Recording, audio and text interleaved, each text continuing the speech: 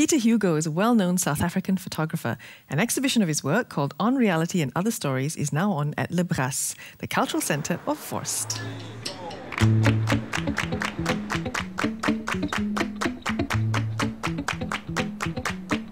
Pieter Hugo is a very famous uh, young photographer from South Africa. He's only 34 years old, but he's very, very um, well known Pieter Hugo is um, uh, a, white African, and so it's very important to know that because all his work is um, also about what's, what does this mean, uh, identity, race, and so on.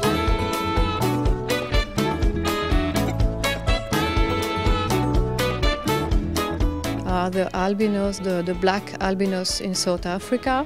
It's important for Pieter because it's the same question as it is for him.